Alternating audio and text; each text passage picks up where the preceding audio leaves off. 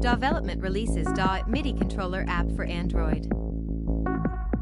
Welcome to MusicGearz, where we bring you the latest info on new music instruments, software, and other gear from around the world.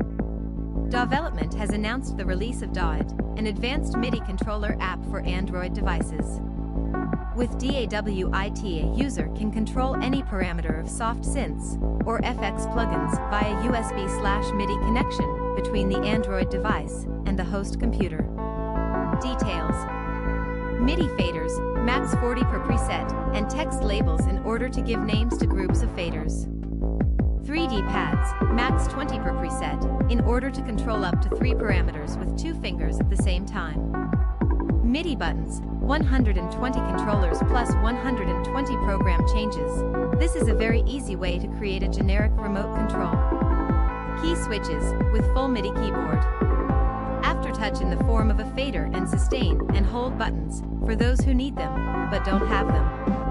Auxiliary panel, you can work with two of the main functions above simultaneously. Versatile UI. Price, 14 euros and 99 cents on the Google Play Store. Read more at dawvelopment.com. Please like this video if you found it helpful, and if you'd like to stay informed on the latest in music gear releases and limited time discount offers, please subscribe.